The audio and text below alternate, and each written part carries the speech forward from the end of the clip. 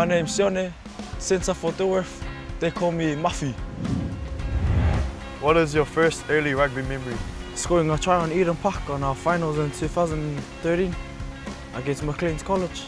Who was your rugby idol growing up? Probably Ma'a Nonu, because he's the best second five in the world.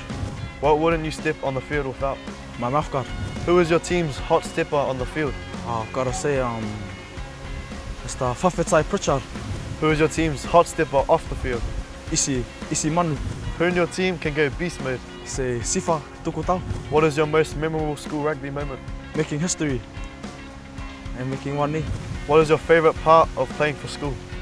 ripping the crest, Which old boy do you look up to? Shem Setu, Who are your Auckland First 15 rivals? probably Otahuhu College, because they beat us last year in the finals. What is your least favourite part of training? Fitness, What is your favourite feed after a win? Nutrigrain and Nutella on toast, What is your favourite feed after a loss? nothing, starved to death. Which actor would play you in a movie? Probably Channing Tatum,